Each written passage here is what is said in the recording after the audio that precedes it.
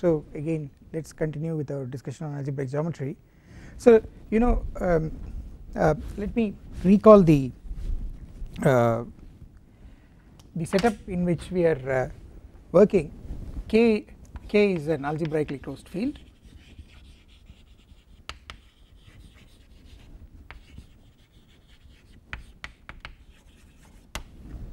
For example you can think of k to be complex numbers if that is convenient for you uh, and then the, the whole idea is you look at kn uh, with the Zariski topology.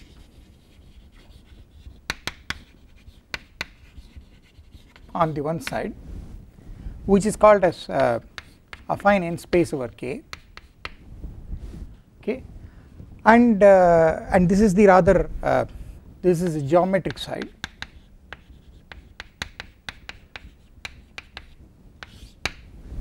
and then on the other side you have the the the commutative algebraic side.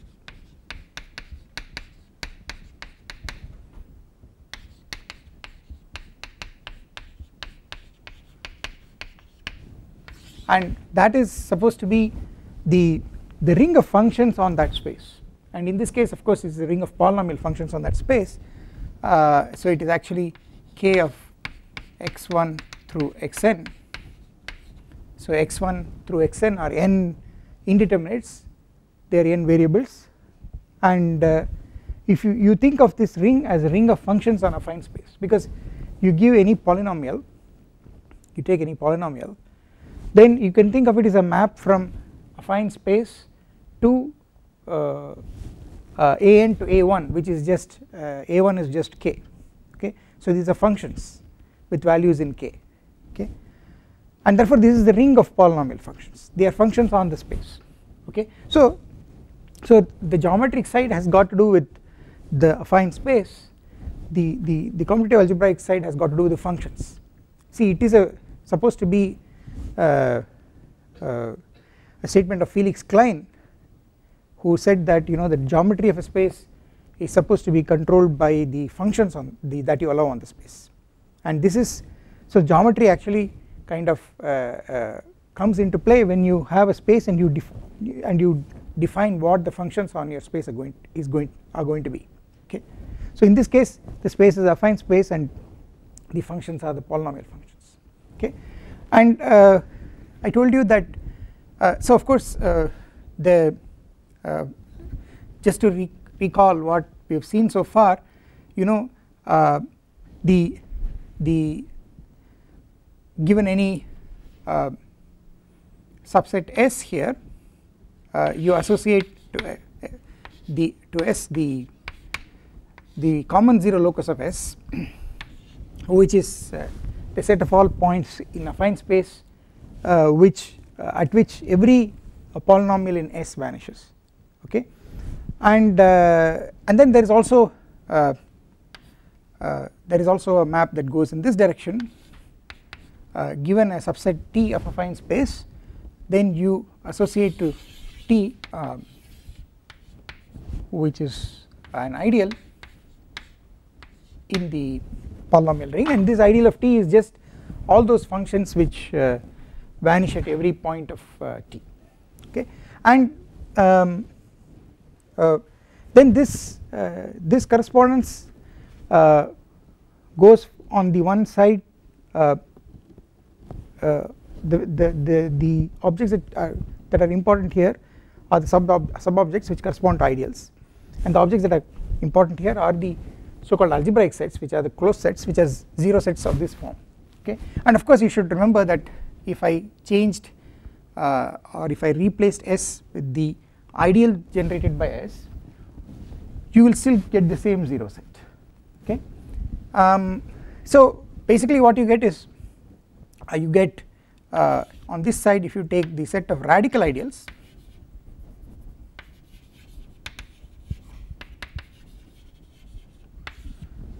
uh, then you get a bijection with the set of all closed subsets.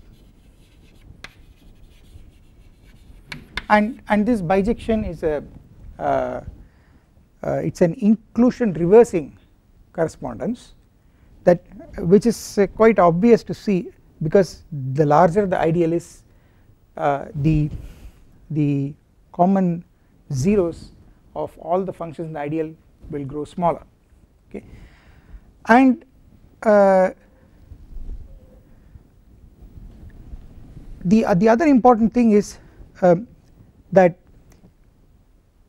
so if you look at radical ideals you get closed subsets. On the other hand if you look at maximal ideals. Then under so uh, uh, you should remember so maybe I think uh, let me write this below. Let me leave some space in between. Uh, so there are maximal ideals.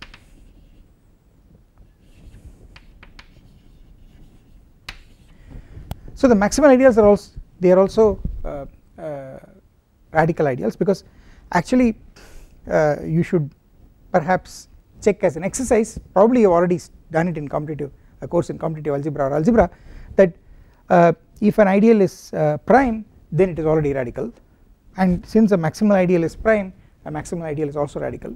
But of course there are radical ideals which are not even prime okay? But in any case maximal ideals the, the collection of maximal ideals is a subset of this okay? And this under this bijective correspondence goes to the smallest possible closed subsets which are actually the points.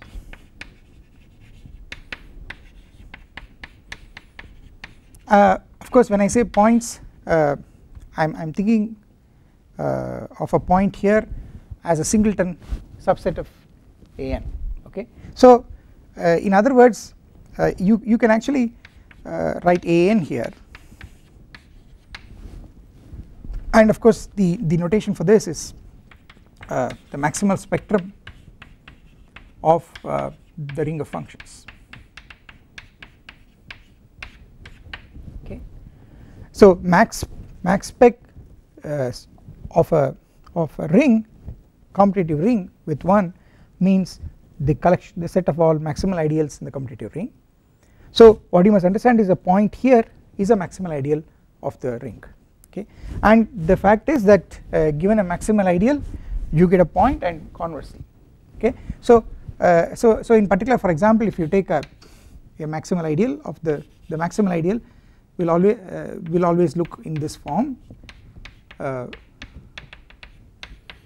it will be generated by uh, xi minus lambda i for a tuple of a, for an n tuple lambda 1 etc lambda n which will be a point of an and this is the correspondence. Because 0 set of this is this and the ideal of this will be that. Okay? So you should remember that in this direction the uh, the map is taking the ideal. It is the I map. And uh, in this direction the map is the Z map which which uh, takes uh, which associates the 0 set the common 0 locus. Okay and in fact I told you that uh, uh, this is that this is this is this is this also uses the Nullstellensatz ansatz uh, in, a, in, a, in a way it is an avatar of the uh, uh, probably weaker or stronger probably weaker but let us look at that in the exercises. But the point is this is a non-trivial statement okay? What is trivial is if you give me an ideal like this it is that it is maximal is is, is reasonably trivial to check but to conversely say that every maximal ideal is of this form uh, which is true only when K is algebraically closed uh, uh, uh, or at least when K is algebraically closed uh, that is not trivial okay and that uses uh, Hilbert's Nullstellensatz. So, so the, the, the what lies in between are the prime ideals. The prime ideals the collection of prime ideals they correspond to what is called the spectrum of the commutative ring. And uh, you see the spectrum of the commutative ring is supposed to be the uh, set of all of its prime ideals and therefore you think of a prime ideal here as a point in the spectrum. So a point here is a maximal ideal and a point here is a prime ideal okay and of course this is contained uh, as I told you uh, prime ideals are radical maximum ideals are prime okay and what happens is uh, that okay. so what corresponds to prime ideals uh, on this side are what are called as uh, affine uh, varieties in AN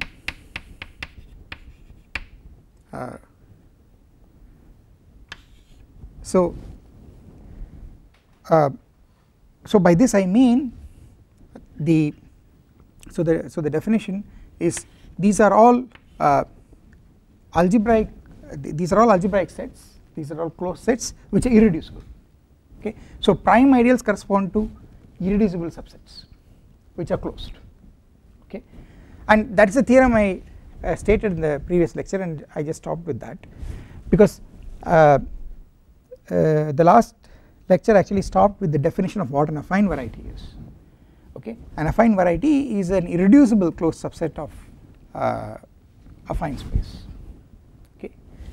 And uh, and why are they important? They are important because um, uh, we will see later that any variety I mean that any closed subset can be broken down into a finite union of affine varieties and the decomposition is unique if you make sure that there are no redundancies that is no affine variety in this is contained in no affine variety in the decomposition is contained in some other affine variety in the decomposition.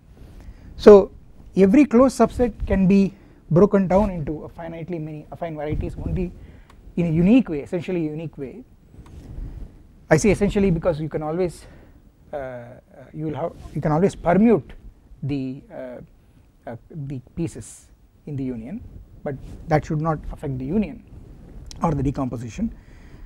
And uh, so that is one important thing about affine varieties. The because they are like building blocks of algebraic sets. Every algebraic set is broken down into union of affine varieties.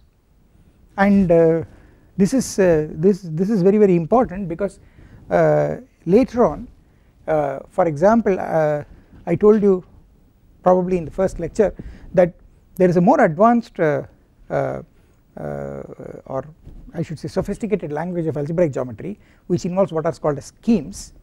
And uh, schemes are some spaces with functions okay with rings of functions.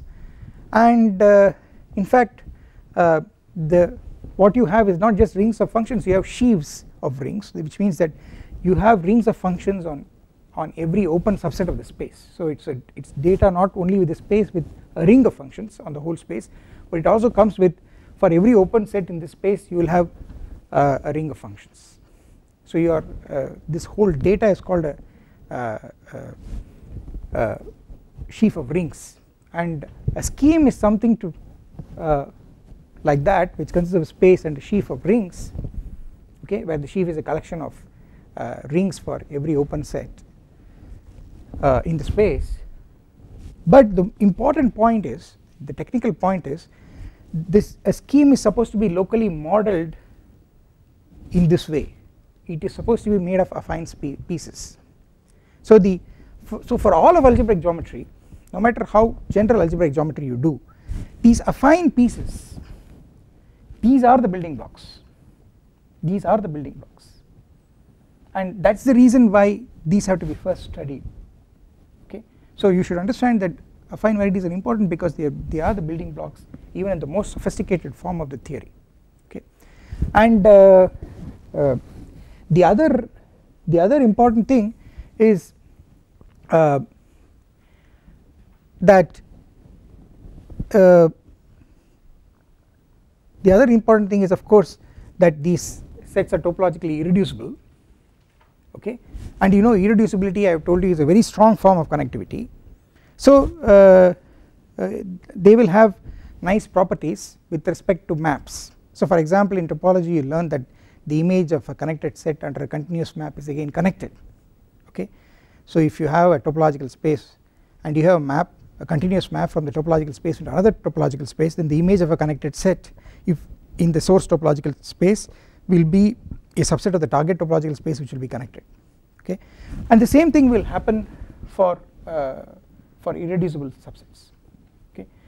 Uh, so irreducibility is a very nice thing uh, to to to have on a subset okay? So now let me let me try to uh, prove this part. So let me recall uh, definition. So this this I am just recalling. Uh, a, a topological space a subset y of a topological space.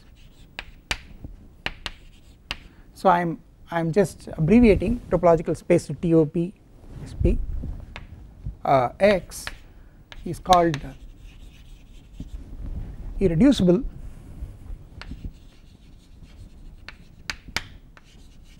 If y cannot be written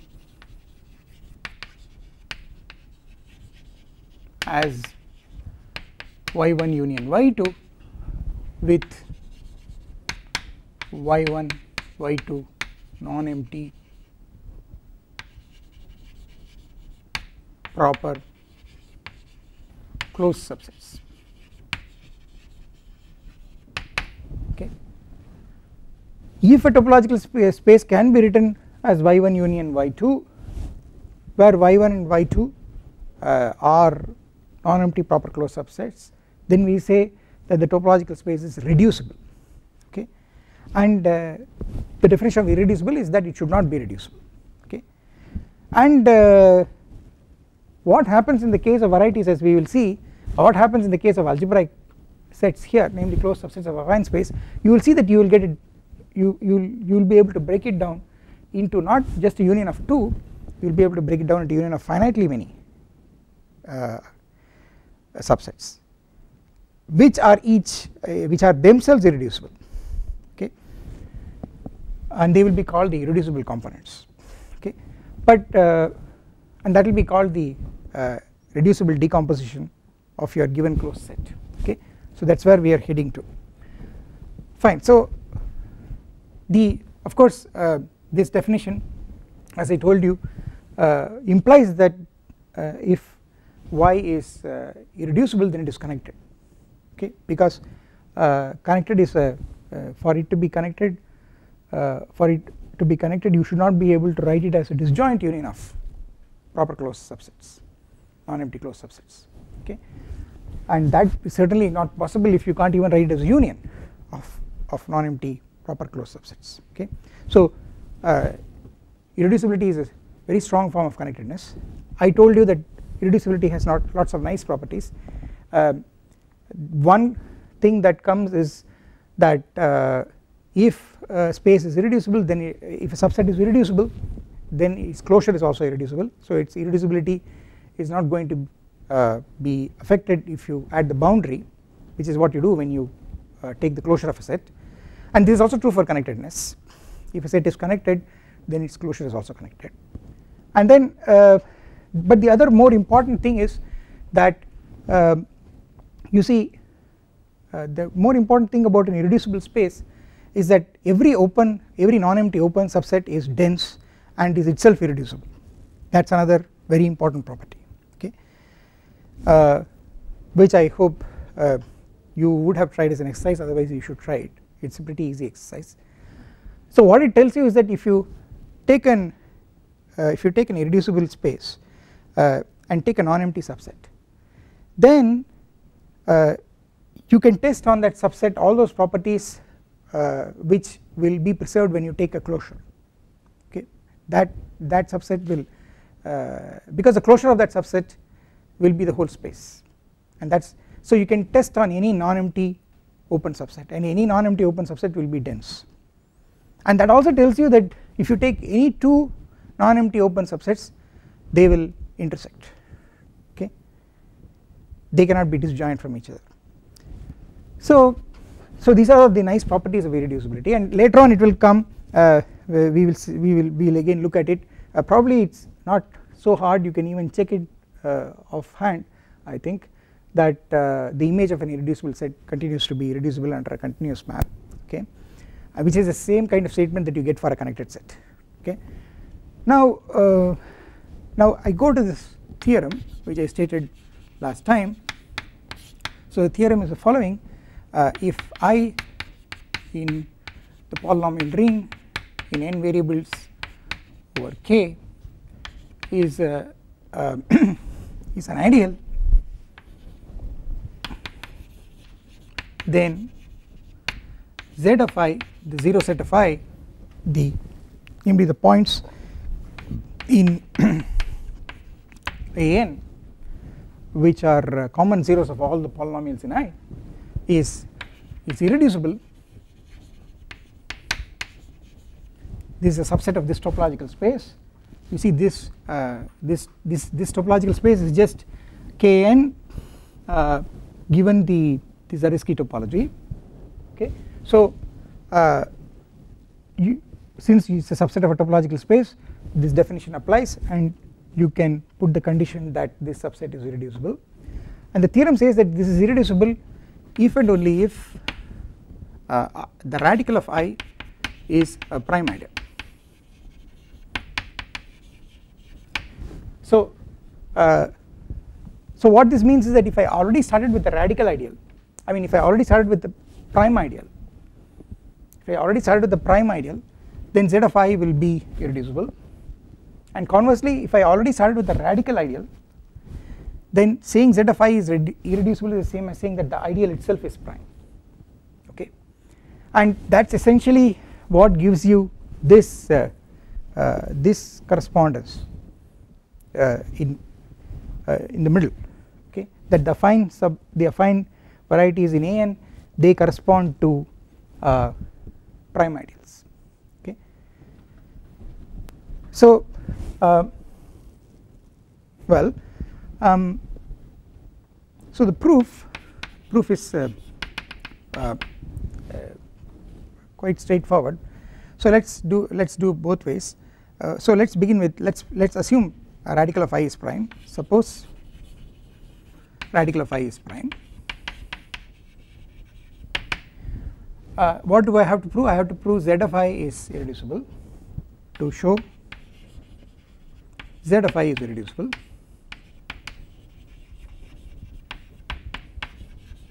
Okay. But actually you see uh, z of i is the same as z of rad i this is something that I uh, told you last time. Two ideals j1 and j2 have the same set of common zeros if and only if the radical of j1 is equal to the radical of j2 so it's the since i and rad i have the same radical namely which is rad i they both have the same zero set okay? And but even otherwise this is quite trivial to see directly okay?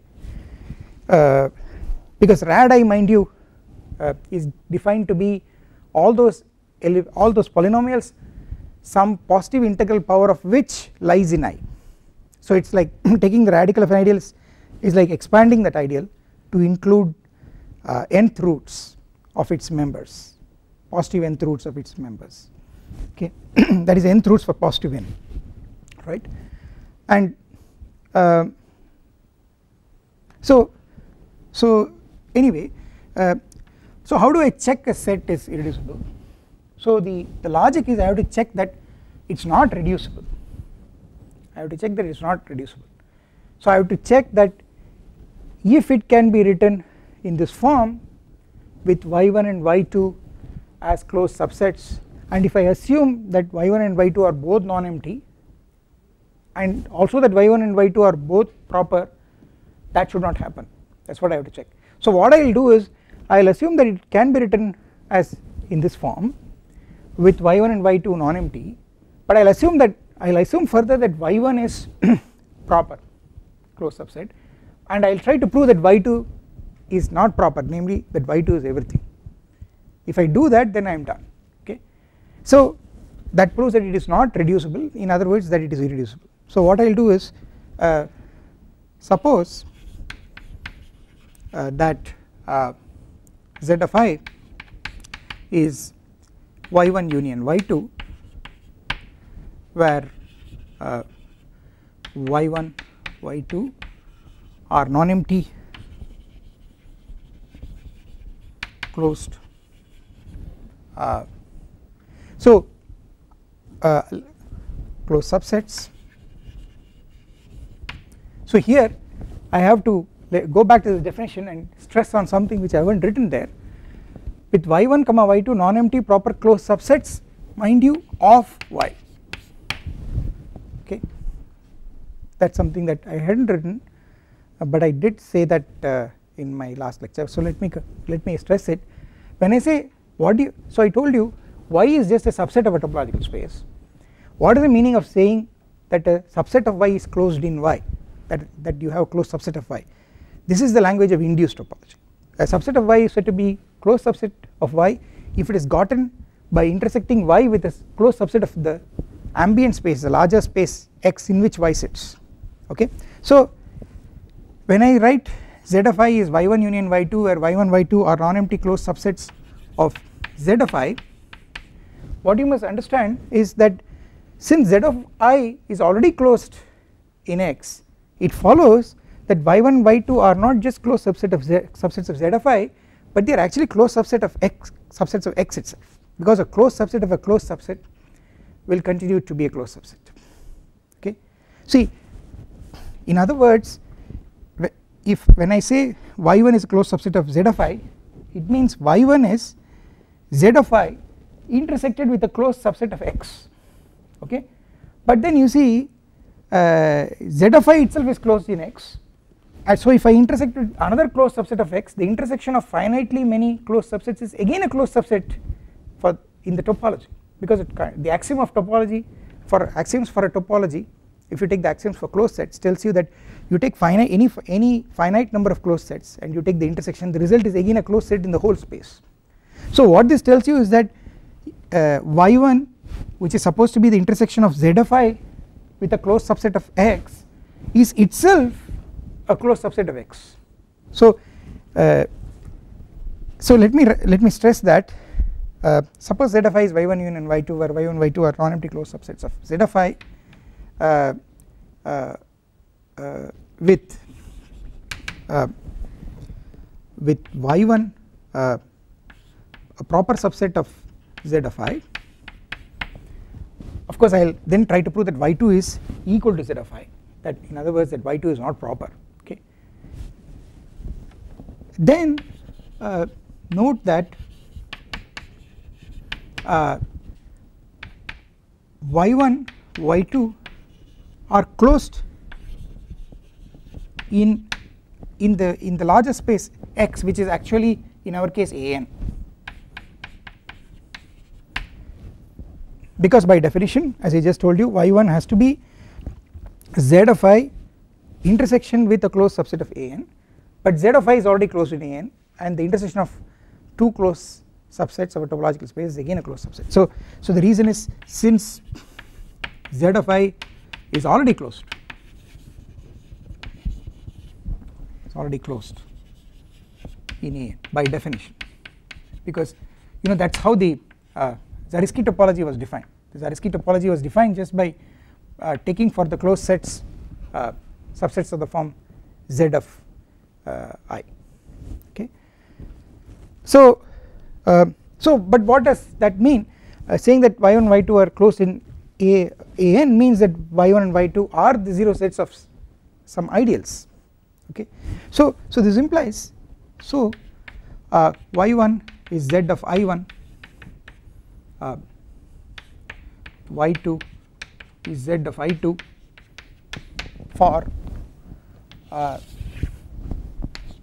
for I1 I2 ideals in k x1 etc etc okay this is what you get. But then but then what is uh, now now y1 union so so if you take z of rad i which is z of i which is y1 union y2 is actually uh, z of uh, i1 union z of i2 okay? And you know but this is the same as z of i1 i2 this is the same as z of i1 i2 because this is something that we uh, this is how we proved that uh, uh, sets of the form z of i uh, they form a topology the, by declaring such sets as, as, as such subsets as uh, closed subsets. In fact what we proved is if you took if you took z of s1 union z of s2 union etc up to z of sm where si's are subsets not even ideals then the union is just z of the product s1 times s2 times etc sm we proved that okay?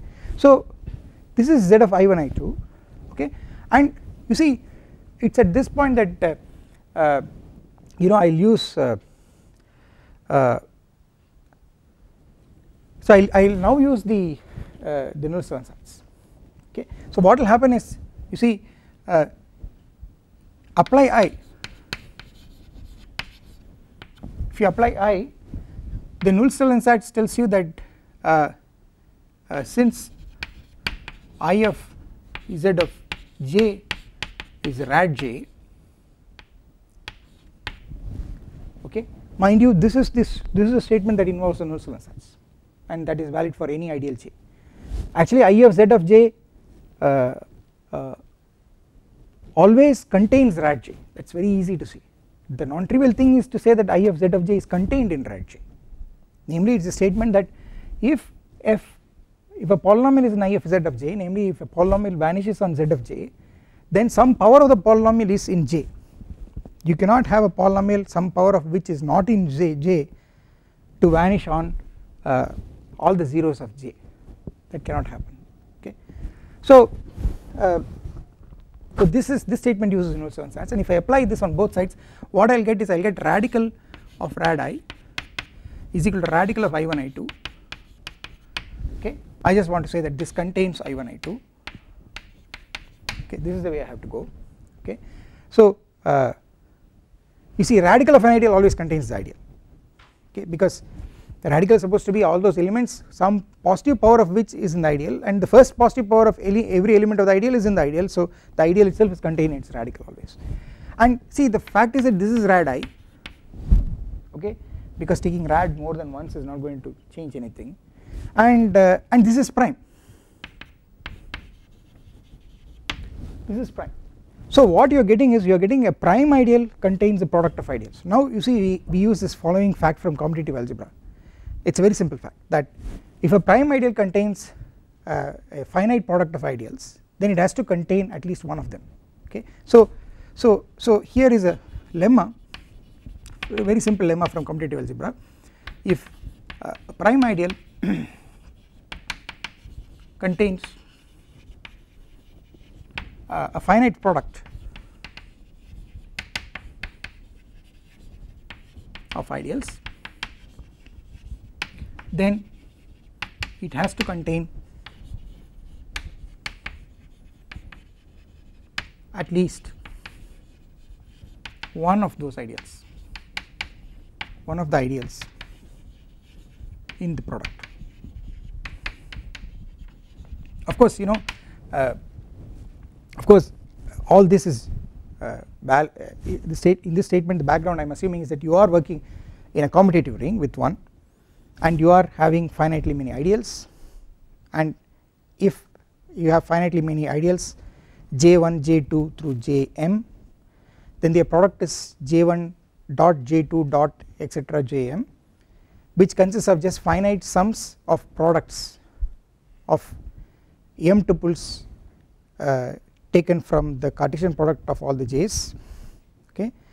And if a prime ideal contains uh, the product j1 j2 jm then it has to contain some ji and this is just uh, this is very easy to see because it is just definition of prime ideal that if a prime ideal contains a product then it has to contain one of the finite product then it has to contain uh, one of the factors of the product. It is just a, a, restatement of that if you if you try to work it out. So so what this this lemma will tell you is that rad i has to contain i1 or rad i has to contain I2 but then this uh, now you apply Z okay? You apply z and to take the 0 locus and remember that when you apply z the uh, uh, uh, the the inclusion is reversed. So what you will get is z of rad of i z of rad i is contained in z of uh, i1 or z of rad of i is contained in z of uh, i2 this is what you get. And mind you but z of rad of i is mind you is just same as z of i and z of i1 is y1 and z of rad of i again is z of i here and this is uh, y2 so what you are saying is z of i is contained in y1 or z of i is contained in y2 okay. But what we have already what we started with was that y1 and y2 are contained in z of i. So what this means is that either z of i is equal to y1 or z of i is equal to y2 but then you are assuming that z of i is not equal to y1 so what, what this will tell you is that z of i has to be equal to y2 and that tells you that uh, you cannot reduce z of i and okay. So so let me write that down. This implies that uh, uh, z of i is equal to y1 or z of i is equal to y2 which implies that z of i is equal to y2 since z of i is supposed to properly contain uh, uh, proper subset of uh, uh, sorry supposed to properly contain.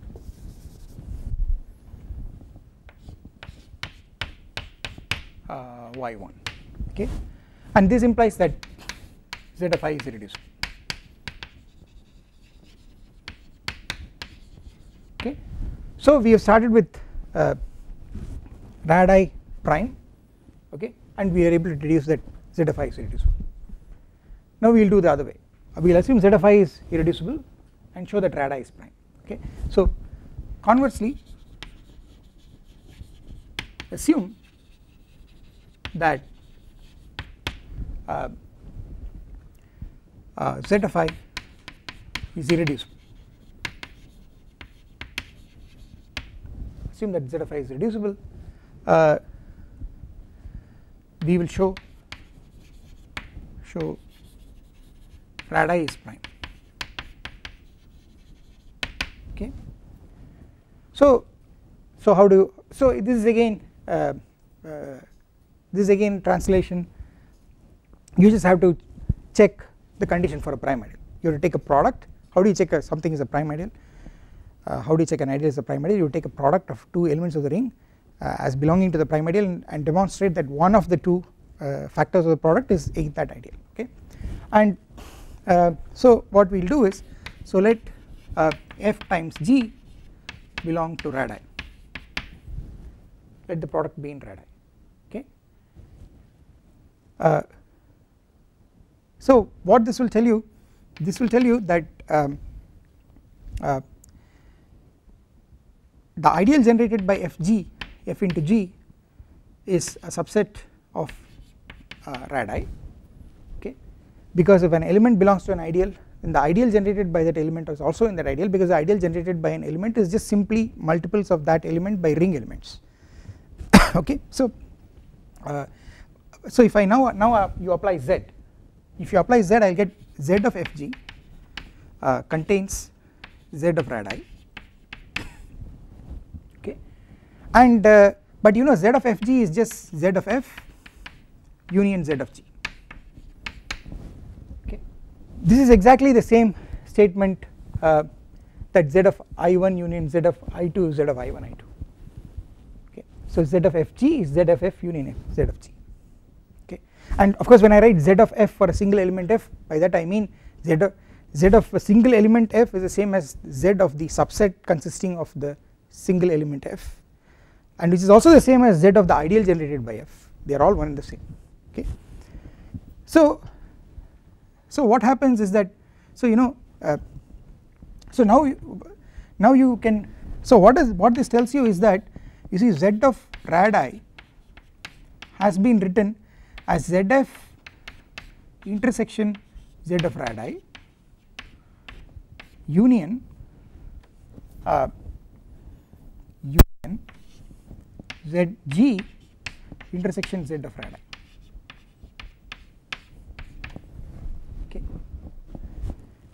you you see z of f is a closed set zf this union contains this. So you intersect this with the smaller subset you will get back the smaller subset. So if I intersect this with z of radii I should get z of radii and that's and intersection you as you know distributes over the union by by simple set theory okay? So you get this. But what you must realize is that this is if I call this as y1 and if I call this as y2 what you will notice is that y1 is a closed set. It is a closed set because uh, it is the intersection of two closed sets. So it is a closed set. Similarly y2 is a closed set closed set. And you have written uh, uh, uh z of uh, uh, radii as a union of two closed sets. But mind you z of radii is the same as z of i but what is the assumption on z of i? The assumption on z of i is that it is irreducible. So the moral of the story is that either one of these is empty okay and if uh, both are non-empty then one of them has to be uh, uh, then one of them has to be uh, the whole zi itself okay. So so let's let's write that out. Let me write that out here. Since z of i equal to z of rad i is irreducible uh, we have uh, uh, and y1 y2 are closed we have uh, uh, we have the following possibilities. So I want to say y1 is non-empty y2 is non-empty. Okay so let's let's write down uh, y1 is if y1 is empty this will tell you that that means you so that will imply that z of f intersection z of radii is is empty. Well this intersection is supposed to be uh, z of uh, f uh, union z of the ideal generated by f union uh,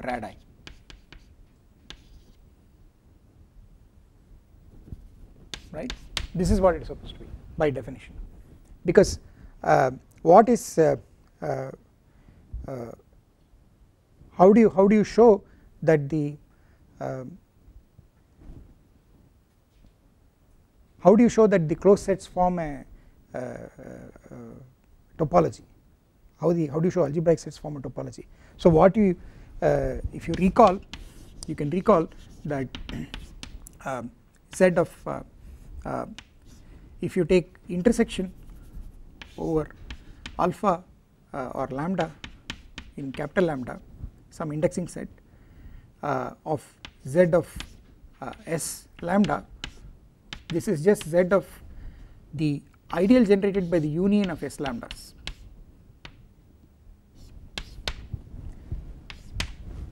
okay. If s lambdas are uh, uh, subsets of the polynomial ring okay and you take the z s lambdas these these are a collection of closed sets. How do you show that the intersection of see uh, how do you show that the intersection of uh, an arbitrary collection of closed sets is closed? It, it follows from this calculation okay. So z of f intersection z of radii will be z of f union radii ideal generated by f union radii. And so so what that will what that will imply is if I apply i to both sides if you apply by i to both sides and use again use this uh, use this z of i of z of j is rad j. So what I will get is if I apply i, I to both sides you will get uh, um, radical of the ideal generated by f union radii uh, will be if I apply uh, i to the null set okay then I will get the whole ring okay? Because what is I of uh, a subset? It is all those polynomials which vanish on the subset okay? I of a subset uh, of affine space is all those polynomials in the in the polynomial ring which vanish on that subset. But if that subset is empty there is nothing to test. Every polynomial will satisfy this condition. Therefore I of null set will be just uh, just the whole uh, whole polynomial ring. Okay? And and you know if if this happens I mean I, I essentially have to show that uh, if this happens I am done. Otherwise I have to proceed further. Okay? So so so what does this mean? This means that this means that uh, uh, f uh, the ideal generated by f union rad i is itself the polynomial ring. See so this is again a fact I am using that you know if, if an, an ideal uh, if the radical of an ideal uh, contains a unit then the ideal itself contains a unit because uh, saying that the radical of saying that the radical of an ideal contains a unit say 1 tells you that there is some power of this which is equal to 1 there is some power of this the ideal generated by this union which is equal to 1 but then uh, that uh, if the sum power of an element is equal to 1 then that element itself is a unit okay? That means that uh, the ideal generated by this itself is the whole whole polynomial ring okay? And what this will tell you is that uh, uh, so you know there is some uh, so so what this will tell you is the following that uh, so there exists. Uh, G1 etc Gm in radii such that uh, uh, sigma fg plus uh, fg plus uh, sigma over i uh, i equal to 1 to m fi gi is 1 this is what it tells you. Okay?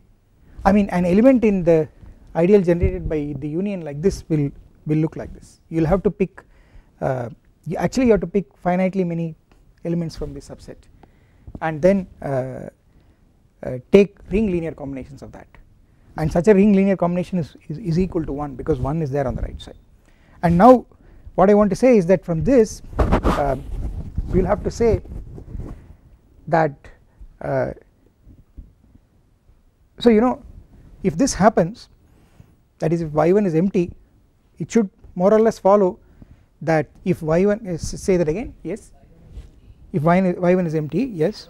Is equal to z of g intersection z of radii z of uh, left hand side is equal to the remaining thing on uh, z of Oh, I see. is y2 z of oh I see. You will just get z of radii is equal to z of i g intersection z of radii and then you will get therefore uh, you will get z of radii contained in z of g.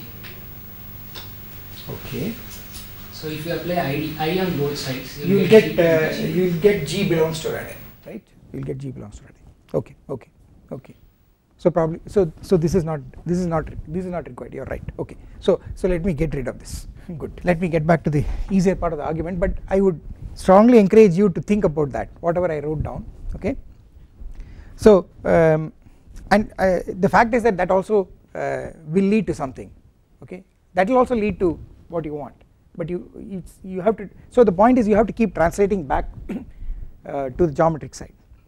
If you are on the geometric side you should translate to the ideal side. If you are on the ideal side you should trans translate to the geometric side by applying uh, by applying uh, uh, this i and z appropriately okay? So as you as one of you has right, rightly pointed out what you should do what one do what one does is that if uh, uh, if uh, if y1 uh, is empty then um, I mean uh, z of it is obvious that z of radii is just z of g uh, intersection z of radii and uh, uh,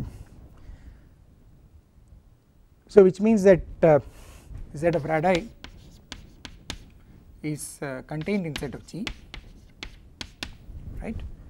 And uh, because the right side is contained in z of g and now you apply i you will get uh, i of z of radii which is just uh, rad of radii which is radii uh, containing I of z of g will be just radical of the ideal generated by g okay?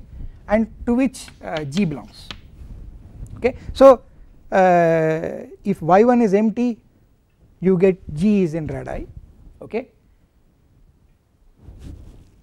Alright so so you assume y1 is not empty okay? If if y2 similarly if y2 is uh, empty then you will get f in radii mind you f times g is in radii so you have to prove either f is in radii or you have to prove g is in radii okay? And y1 equal to empty directly gives you g is in radii uh, similarly y2 is empty uh, implies f is in radii okay? And you are done. So assume both are not true okay? So so so assume uh, both uh, both y1 and y2 are non-empty. Okay? So you you will have to thrash out all the possibilities. Okay? Suppose suppose uh, suppose y1 um, is uh, proper. Then uh, irreducibility of your right z of radii implies that uh, if this is proper then that cannot be proper. If y1 is proper then y2 cannot be proper. So y2 has to be everything. Okay? And in that case you see g belongs to radii right so so you are done essentially. So let me write that down. Suppose y1 is proper then irreducibility of z of radii implies that uh, z of radii is y2 okay? And this implies that uh, uh, again the same argument literally z of radii is equal to z of g intersection z of radii and and this will imply that uh, g uh, I guess g, this will imply g is in radii okay? So if y1 is proper you will get g is in radii similarly if uh, uh, y2 is proper okay? Uh, you will get f is in radii okay? Similarly y2 proper will imply f is in radii and that, that completes the proof. Okay? Right? So um, so it's very clear that uh, uh, an ideal here is prime if and only if the uh, the radical of an ideal here is prime if and only if uh, the corresponding 0 locus here is irreducible. Okay? That proves it. Okay? So I will stop here and then we will uh, we will continue in the next part with some uh, with some examples. Okay